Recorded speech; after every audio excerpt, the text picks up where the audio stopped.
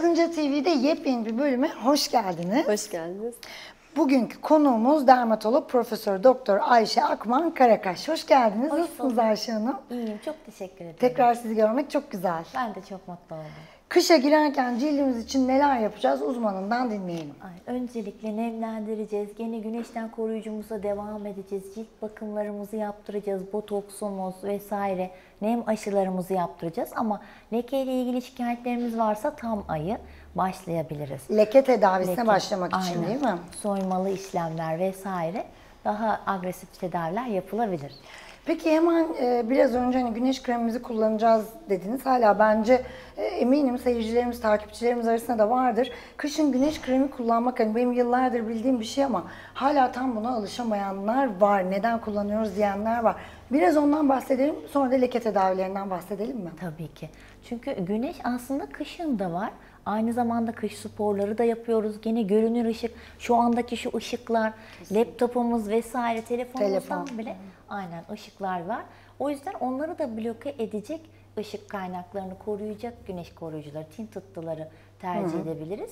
Yaz kış koruyalım ki hem DNA hasarımız gelişmesin hem leke olmasın ama D vitaminimiz eksik kalırsa onu ek alalım. Ama bakımımız, kırışıklığımız, lekemiz de olmasın. Olmasın. Peki, e, leke tedavisi için neler öneriyorsunuz? Leke tedavisi çok geniş. Öncelikle nedenlerine bakıyoruz. Bazen bir tiroid hastalığı neden olabiliyor, doğum kontrol ilacı olabiliyor. Ee, ya da şimdi öyle bir şey oluyor ki lekede bazen damarsal komponent oluyor. Damarlar genişse onları da tedavi etmemiz gerekiyor. Yani önce e, ağızdan e, ilaçla mı tedavi? basamak basamak kremleri veriyoruz. Olmadı. Ama hepsinde değişiyor. Bende melazma var mesela. Melazma olduğu için benim damarlarımda da problem var. Yani benim tedavimle normal bir işte mesela bıyık, işte sir ağdadan bıyık lekesi oluyor.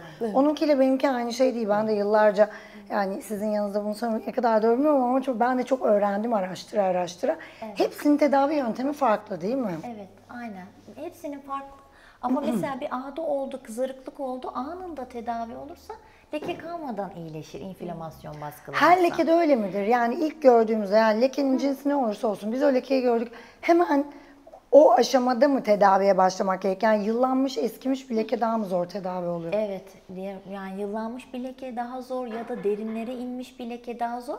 Mesela ona pikosaniye lazer gerekebiliyor. Yüzeysel olanı krem bile açabiliyor. Ya da damarsal komponenti olanı onu azaltan moleküller var. Krem, iğne, mezoterapi veya hapı var. Onlar bile iyi oluyor. Dolayısıyla böyle çeşit çeşit. O tedavi haptan bir bahsedelim mi? Ben hapı şu an ilk kez duyuyorum. Demin Hülya'nın sorusunda da vardı o yüzden. Evet, evet.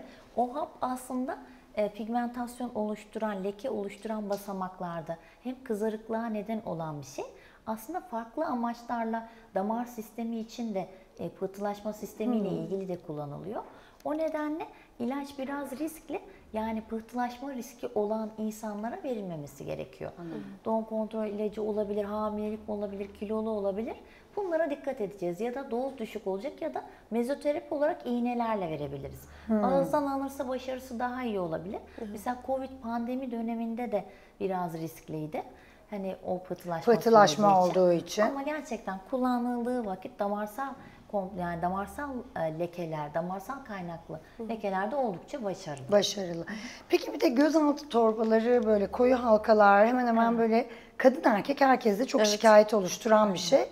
Ee, ben bende de mesela yıllar öncesinde vardı. Ben çareyi doğru zamanda doğru e, miktarda uyuyarak buldum.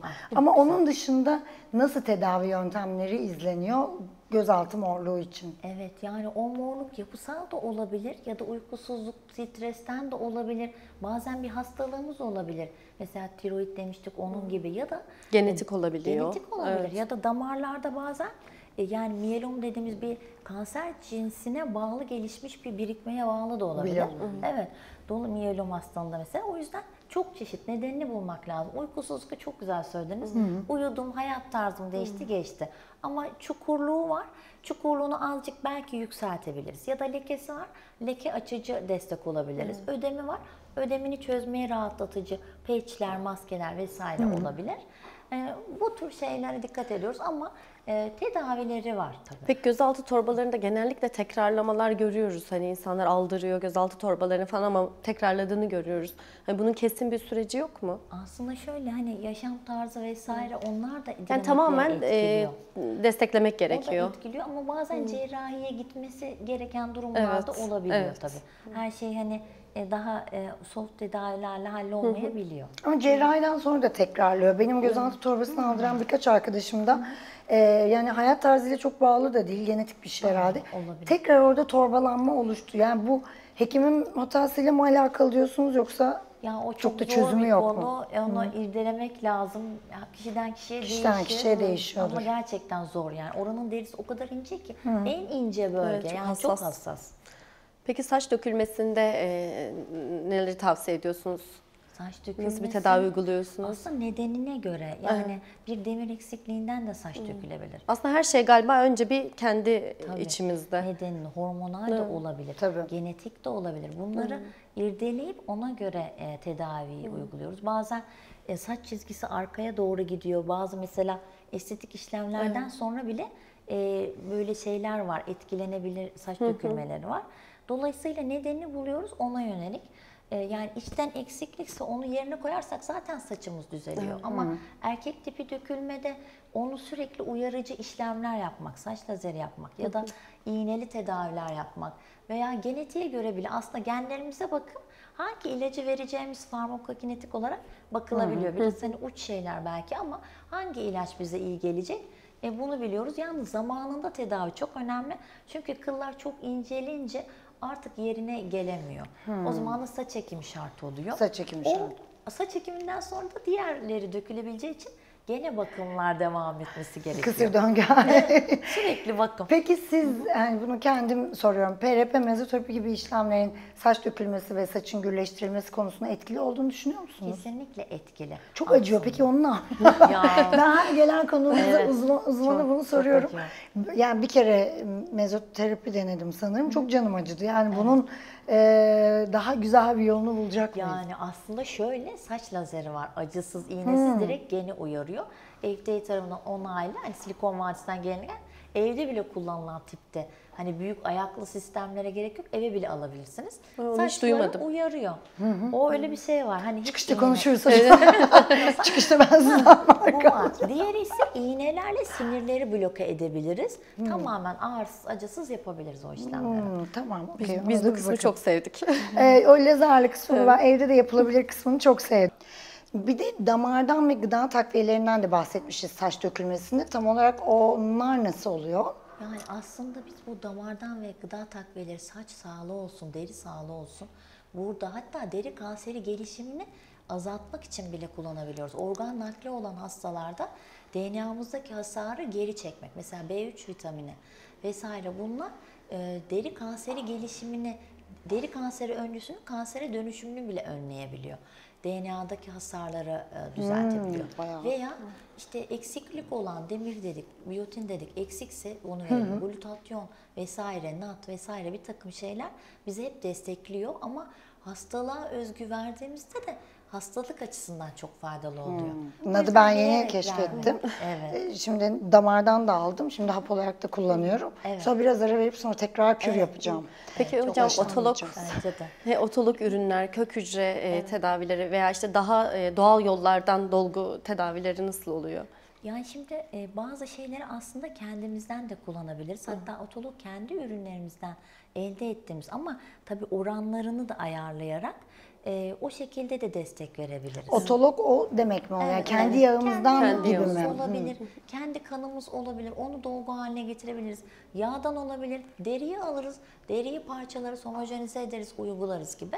Bunu hep hastalıklarda kullanıyoruz, mikrogreft halinde ya da sadece dolgu veya derimizi gençleştirmek için de veya saçımız için de. Aynen. Peki egzozom nedir? Ay, Bu da çok sevdiğim bir konu. Ben çok seviyorum çünkü kök hücre var bir de kök hücrelerin ürünleri var. Aslında bu egzozom kök hücrelerimizin organelleri dediğimiz yapı taşları. Pek çok işlemi bu egzozomlarla e, ortaya çıkarıyor kök hücreler. Nasıl Şimdi uygulanıyor? Nasıl uygulanıyor? Deri içine uygulanıyor. Kandan damarla verilebiliyor.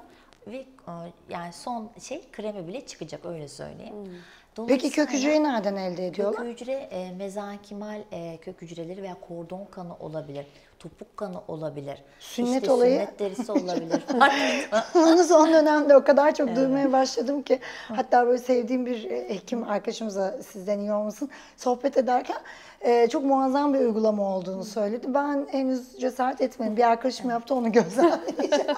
onu kobay olarak kullandım ama e, sünnet derisinden kök hücre o ayrı oradaki hücreler alınıp çoğaltılıp yapılıyor. Tam bir kök hücre gibi değil ama onun bir şey uygulanıyor sünnet derisi. Sizin sevdiğiniz okey. ne? Bu, bunlar hepsi güzel. Egzozom bunların en tapı. Yani işlemlerini egzozom aracılığıyla yapıyorlar. Yani bu son noktayı direkt veriyorsunuz. Bunu e, hastalık iyileştirmede olsun, tedavide olsun ve bunu öyle bir şey ki bizim dokumuzdan da alıp yapabiliriz. Ya da alınmış hazır paketlenmiş ürünleri bile var. Direkt uygulayabiliyoruz. Saç olsun, iz olsun, bakım olsun. Ee, ve bunu aynı zamanda tanı tedavi amacıyla da aracı sistem olarak da kullanılabiliyor ama gelecek biraz egzozomda e, evet, Peki hocam kullanacağız. vitiligo tedavisinde yenilikler nelerdir? Ya bu Zor bir çok tedavi. zor. Çok zor. E, çünkü otoimmün vücut kendi kendiyle uğraşıyor.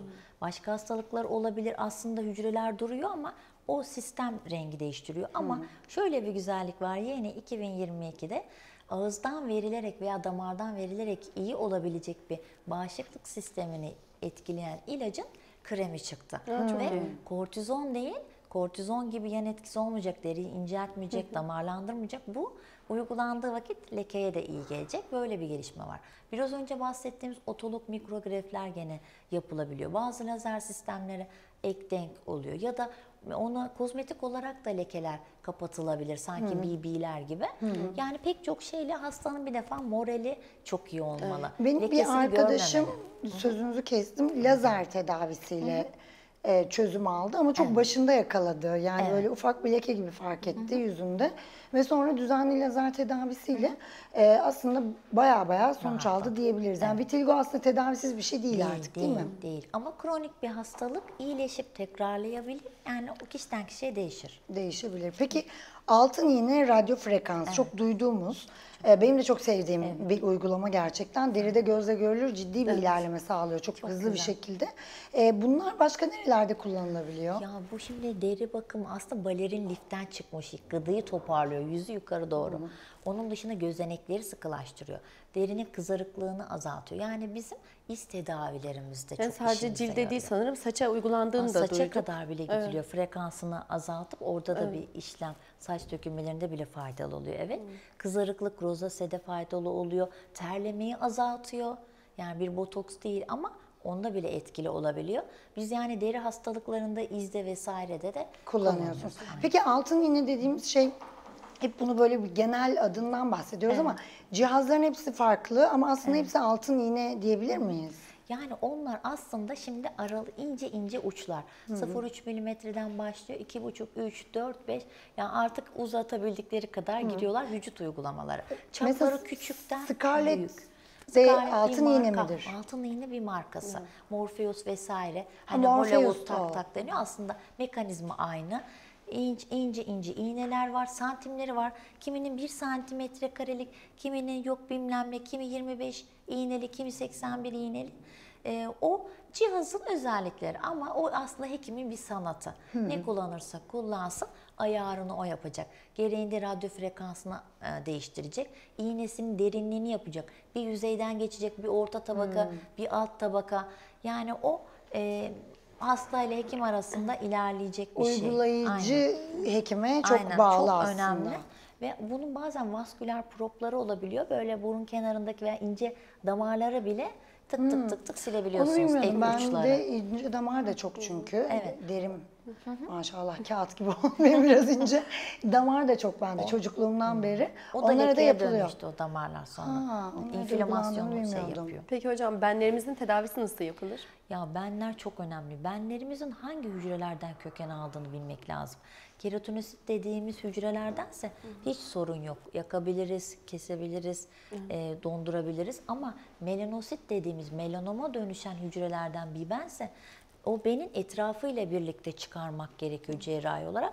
Yakmak, lazer vesaire plazma bu sefer bu kanser dönüşüm riskini geliştirebiliyor. Çok iyi muhtemelen. teşhis gerekiyor o zaman. Evet. Aynen. Ben çok, konuştum. Aslında işte önemli. burada yine biraz önce başkanımızla da görüştüğümüz gibi işte doğru e, yerlere gitmek, doğru doktorlarla görüşmek gerekiyor. Kesinlikle. Maalesef herkes her işi yapmamalı. Kesinlikle. Çok önemli. Ayşe Hocam çok teşekkür ederiz. İyi ki geldiniz. Yine böyle bir sürü konuyu konuştuk ve bence bayağı üzerinden de geçerek, iyi iyi Teşekkür geçerek ederim. konuştuk. Çok Ayağınıza sağlık. Evet, teşekkür ederim. Kadınca TV'de bu bölümün de sonuna geldik. Kanalımızı takip etmeyi, bildirimlerinizi açmayı ve abone olmayı sakın unutmayın. Hoşçakalın. Hoşçakalın.